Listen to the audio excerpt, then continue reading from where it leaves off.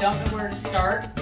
Or have you been dyeing fabric for a while and want to add more techniques to your repertoire? Then my book, Fast, Fun, and Easy Fabric Dyeing is for you. The book includes all the information you need if you're just getting started dyeing fabric, and it has lots of interesting techniques for those of you who have already done some dyeing. The dyes are readily available and very safe to use at home.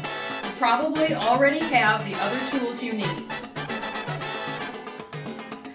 Dyes mix just like paint and other colors, so it's easy to create your own color blends. Here are a few examples of just how easy it is to get spectacular results.